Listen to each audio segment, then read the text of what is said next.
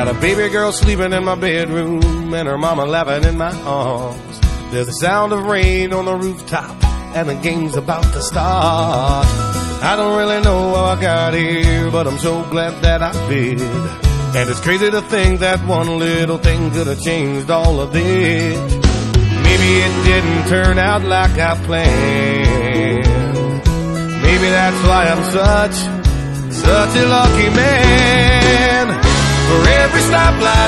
Make, every chance I did or I didn't take, all the nights I went too far, all the girls that broke my heart, all the doors that I had to close, all the things I knew but I didn't know.